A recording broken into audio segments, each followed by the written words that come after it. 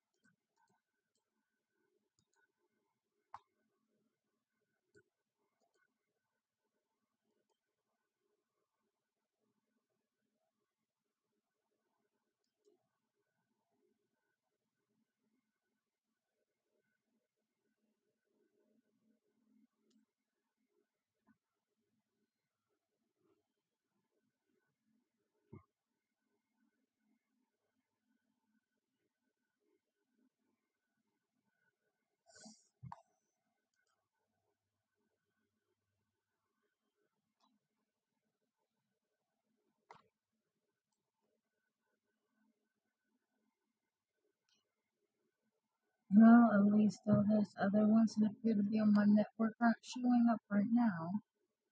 That's a plus, but how long before they're back?